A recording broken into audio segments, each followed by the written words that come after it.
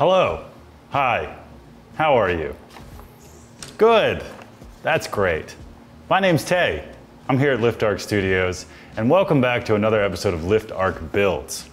Why is the production value so good all of a sudden? Well, Walker, uh, my good friend, my editor, video extraordinaire, media overlord here at Lift Arc Studios, is out of town for the week with his family. He deserves it. That means, however, that I need to shoot, edit, produce uh, the entire video myself.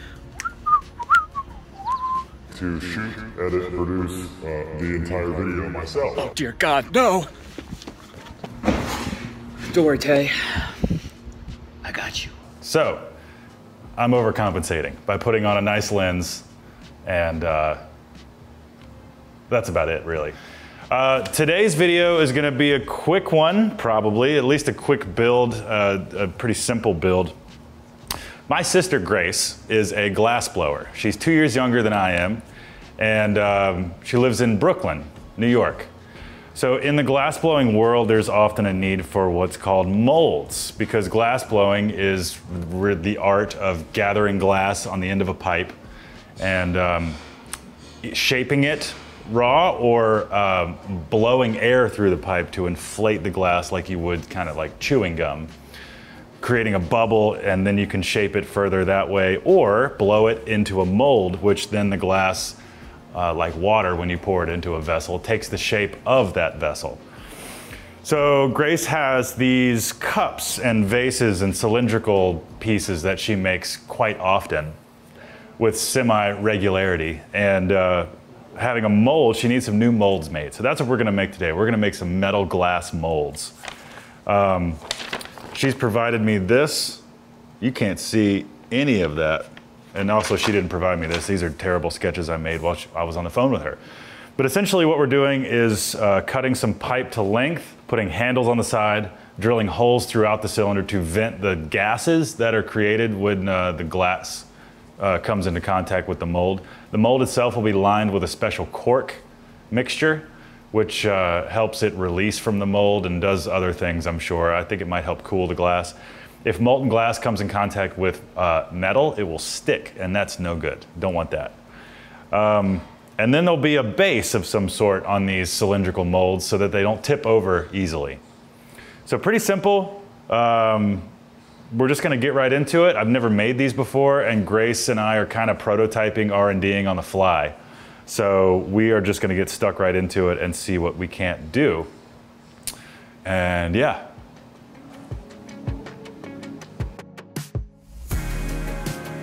So for the first cut, this is the four, it's four and a quarter OD, but it's basically four on the inside.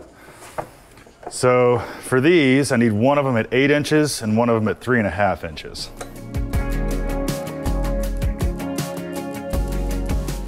I think this pipe is cast iron. And the one thing I know about cast iron is that it's brittle and it will break. Like that. I don't know if a good mold that will make. I don't, you know, honestly, I'm not even gonna go with it. I may have to go over to Black Dog and see if they have any uh, four inch pipe laying around.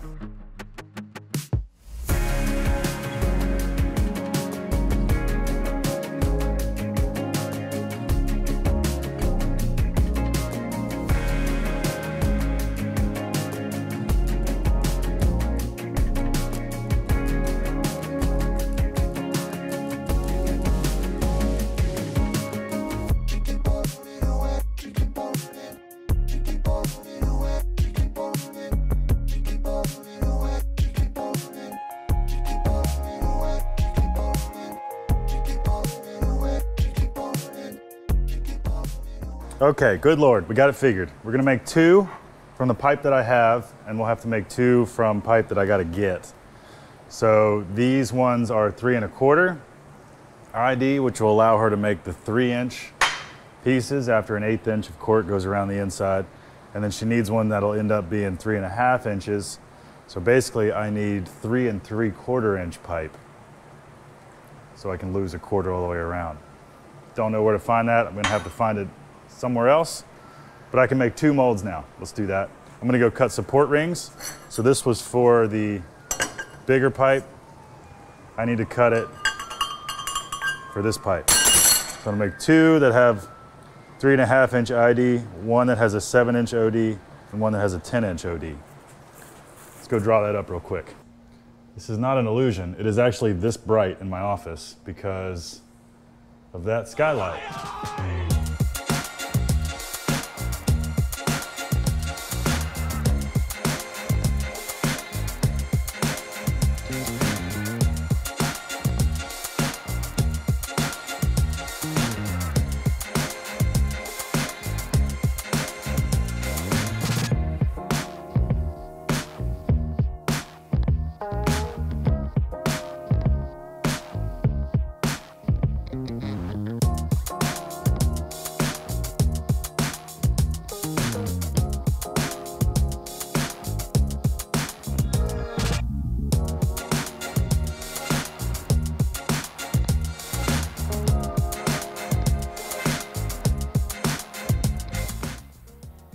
Not bad.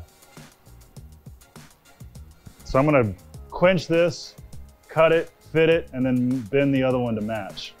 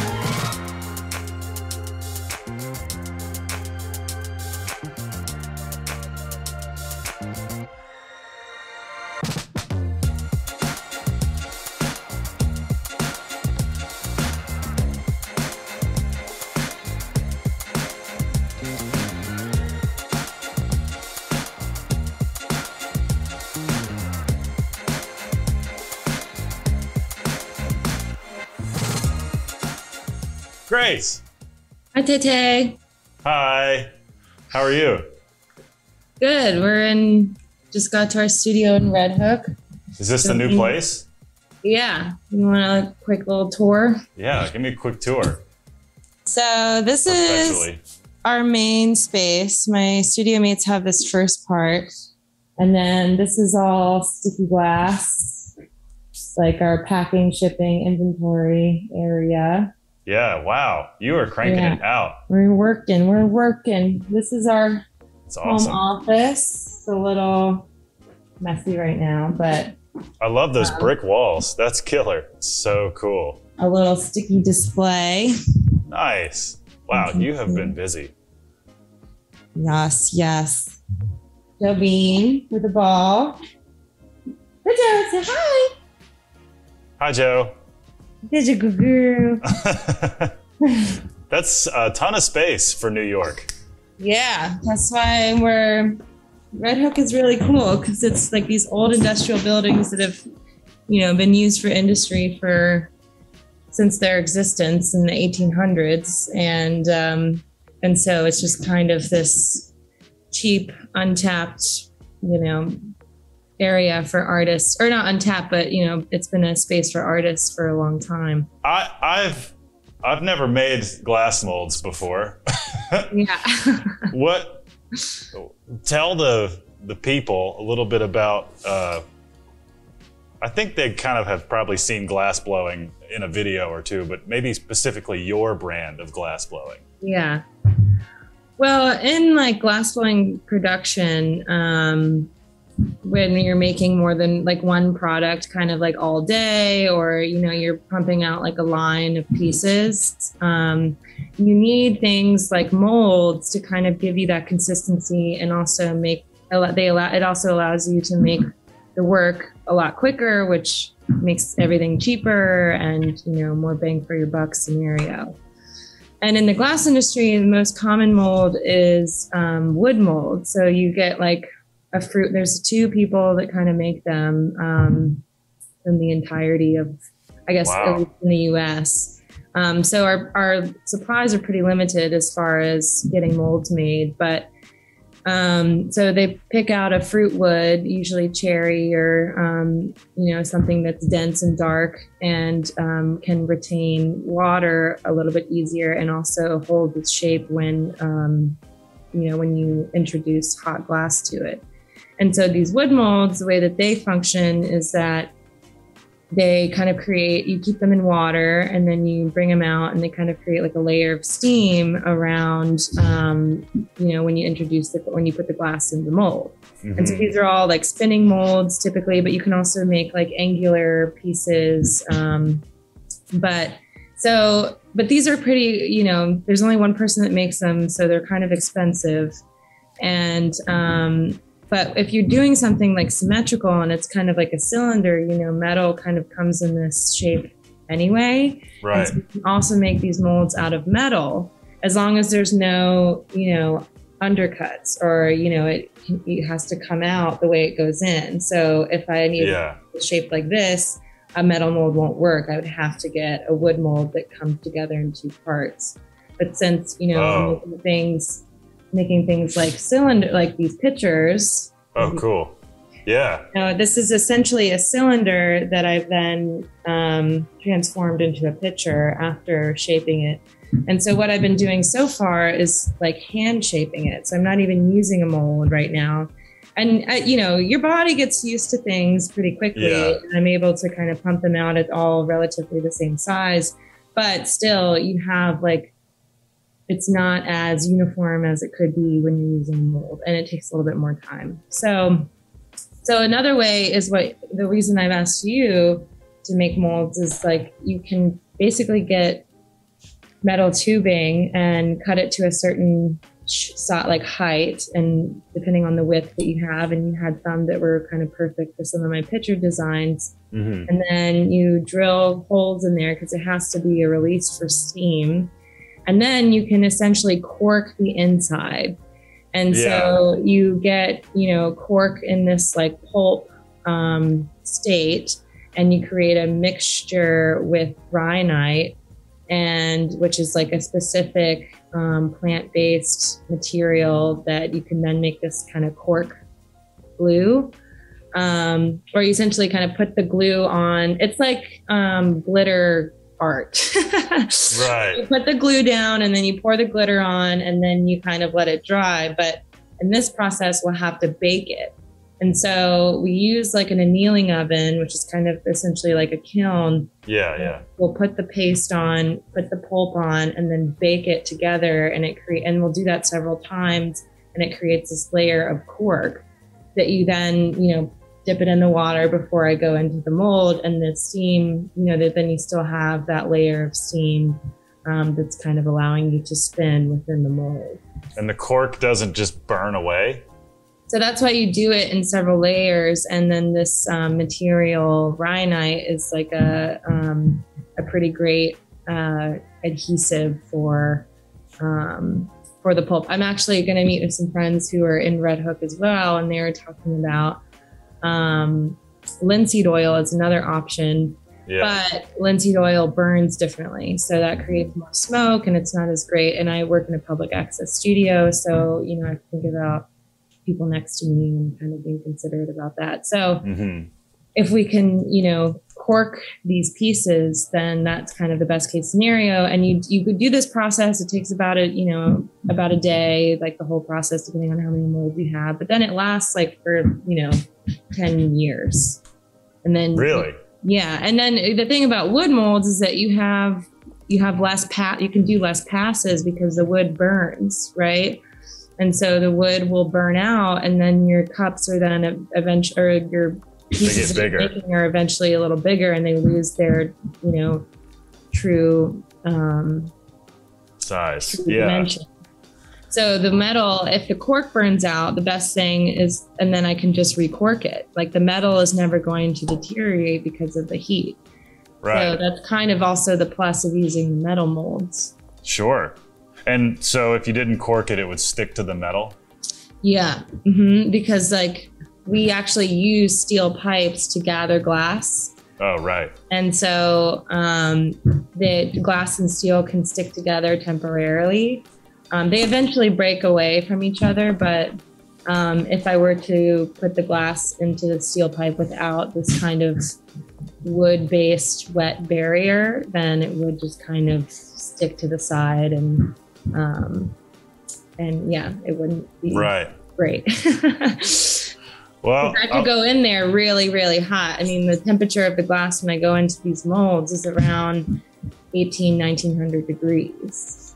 yeah. Wow, that's really So, hot. I don't know. I can't can't yet remember when uh, metal melts, steel melts particularly, but it's not. I think it's around that temperature. It's not far off from that I think temperature. steel melts a bit at a bit higher temperature, and Yeah. then than glass, and then um, uh, aluminum melts at a lower temperature. Much lower. And then yeah. gold and silver melt at similar temperatures. So their COEs are pretty similar, and so that's Mm-hmm. they're actually compatible. So that's why you can you can put gold leaf and silver leaf onto glass because of the Oh, cool. similar COEs that they have. The coefficient. Yeah. Interesting. Okay, well that's good. That's another reason to use metal. But so the I just I just took my just artistic liberties on these. I want maybe Walker to get a close up and see what you think. So the bottom is flat and obviously it's open all the way through. Perfect. So um which is what you wanted, right? You want it Oh, okay. open all the way through because um, because if you were to put a bottom on that, and then it would be a lot harder to cork that bottom because it's like a hollow tube. You're basically going to have a big bin filled with the cork pulp, and we're just kind of going to go in there and kind of let it stick. But Right. you know you you have less control of consistency if that bottom also you know the bottom's going to burn out um, Sure. and so we just use a piece of plywood under there And just set this on the wood. exactly and then you know that kind of does it for you Are the handles, I think the handles on this one give you a little bit more separation than the tiny one, but are these still acceptable for handles? oh yeah yeah Okay. Any handle that it's it's kind of great this is sort of like a luxurious design because a lot of people i've seen just have the tubes Oh, really? Okay. and then you know they take the, they take like Kevlar gloves and they just hold the tubes. they Whereas just grab like, the tube. Yeah. yeah, whereas those handles are going to prevent you know the metal from getting hot when you're holding it. So Yeah. I think they're looks, really cute. looks like a little teacup. Yeah. Um, now the vent holes. Do you want more vent holes? I don't know if Art could see them. There's four rows of vent holes in this one. Oh, I Uh, think that's perfect. And then I might put more in this small one. There's, I tried to make them spiral. So there's a three Oh, yeah. in a, in a slant and then three in a slant. Um, maybe one more here and one more there. Is there any, can you go too many? I don't know. I think it, like for a small one, at least like four to five, Okay. and yeah. then for the big ones, you know, We got six on this one. And also it just, it's mild steel. So if you find yourself wanting another vent hole, you can just you drill can just one. do it exactly. Yeah, yeah. Um, They look well, great. Sweet. I went above and beyond and TIG welded everything. So they should last you Of course. forever. well, sweet. So if, Awesome. you, if if you approve, then uh, I will stick them in the mail. I can't wait. Yeah, they're going to be great. You said you're going to the steel mill to find some other sizes. Yeah. So the the other two you want you want to have be able to do three and a half inch diameter stuff, right? Yeah. Which means we need three and three quarter uh, piping because you lose a quarter inch with the cork. I think Uh-huh. o- overall. So yeah, that's what I'll be on the lookout for. But at least we got two of these down, and um, being that this is a prototype, it'll be helpful to see how they actually work. Yeah.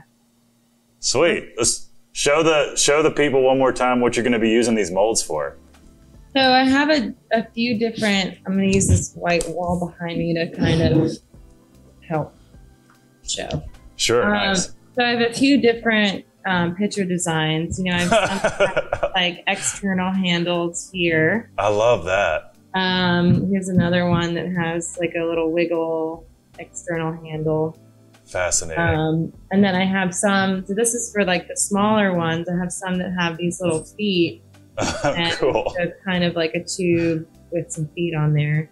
Yeah. And you know, I have this line of ones that have an exterior bubble shape, so it's it's actually blown out. Um, it's Okay. like It's, hollow bubble, and that kind of acts as your handle here. that's kind of your one of your signatures so far with sticky, right? That little bubble. Yeah, these are the bubble cut, like from the bubble collection. Look at Joe oh yeah, she's got her top hat. Uh, look, And then for the cups, I have, um, you know, it's kind of similar things. I have some that have this external chamber here, and Yeah. then some that have like a little um, Just a handle bubble. that I kind of stick on. So, um, and I have a mold for those, but I think I want to make them a little bit bigger. So that's kind of what this mold is going to be great for. Cool. Yeah. Right and on. depending on, you know, depending on when you get the other molds then it might be best to just send them all together because we have to set up the corking in like one day, and it's kind of a big setup. So okay. make sense to like do them all at once. Okay. Well, Yeah. I'll make a note to call Steel Services after this because even if they don't have anything laying around, I can just custom order something or at least get a quote for that. Yeah, Um, and so for the three and a half, see, it looks like I think I have it written down here. You want one at three and a half inches long and one at eight inches. Mm-hmm. Okay, so these are still valid. cool. Well, if anything, I can just have them custom cut some, and uh, and I'll just get the quote for that. yeah. Yeah, we can put it on- We'll see. Put it the Regardless, mail at the these are same going to be great. These two. Yeah, Awesome. yeah, I uh, I figured if it was worth doing, it's worth overdoing. yeah. Classic Whiteside move. yeah, right. Um, awesome. Well, Excited. w- yeah, I'm excited Everyone's to. to be jealous. well, you know, it's uh, tell them where you got them, and Yeah, we'll start a like side business of for sure, if I. if I can make them, um, make a little money off of them, and then you can mark them up and sell them up there, that'd be even better. You know what's also cool is if you have I don't have an example here, but you know, met, there's a lot of times people need metal mold to do something angular. So if you needed like a glass piece with like an octagon or like a pentagon or a square, even, you know, you can't really get that out of wood as well as you can out of metal. And those you don't need to cork or anything because you just go in, you close it, and then you come out. So you're only staying in there for a certain amount of time Interesting. put some graphite spray on it, and that kind of is just the release there. But Right. so when time comes for some angular stuff, you know that's going to be a fun one because you the CNC plasma is perfect for that. Well, yeah, I could make my top Wow. plate and then kind of like a cookie cutter, I guess, where you have a Yeah. top plate and then walls around it. right. Yeah, Cool. Well, yeah, put it to work. I'm excited. That would be neat to see. totally. Yeah, Well, um, I will. I'm glad uh, we got it. I'm gonna call the steel place after this and get the right stuff lined up for for the purposes of this video. I Yeah. think uh, I think they have a pretty good idea of what the hell I've built here. yeah. Big metal teacups. yeah, well, this one for sure looks like kind of a teacup uh, It's with, perfect. with a with a trick. It's a trick cup with no bottom. Yeah, which is like I love that idea. I know. Well, where where can people see your work? So you can go to stickyglass.com and we have all of the, um, you know, all of our stock that you saw here we're selling there. So yeah, visit us. And then Instagram is get sticky glass. So you can find us there as well. Nice. Well, thanks for watching, everybody. From the Whitesides to you. this has been Tay and Grace. She's in Brooklyn. I'm in Roanoke, and uh, we like building stuff. Yeah. Friends So- and family. That's right. Well, well, go check out Grace's work, uh, Instagram, uh, internet, or if you're local. If people are in Brooklyn, can they see it? Yeah, you can email us if you want to come down to our Red Hook studio, um, info at stickyglass.com and um, make an appointment. Nice. Yes, by appointment only. By appointment only. Same here. Yeah. Cool. Well, uh, I'll let you. Goodbye. Come here. Come here, Joe. Come here, bigger boo Oh.